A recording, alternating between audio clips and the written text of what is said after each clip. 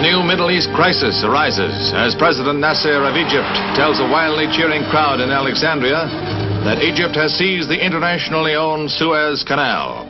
His announcement touches off a rapid series of reprisals and counter reprisals. Britain freezes all Egyptian funds, and Egypt retaliates with the same measures. France lodges a bitter protest and suggests military action.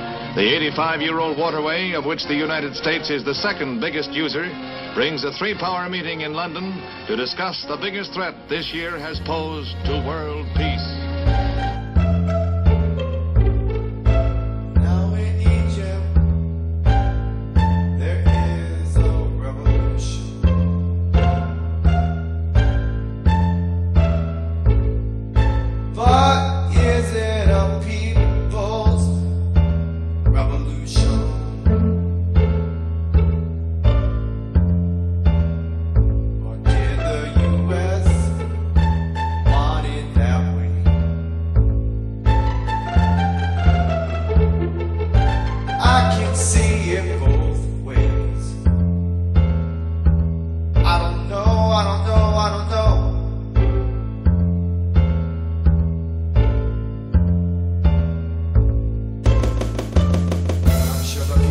Ground are aware.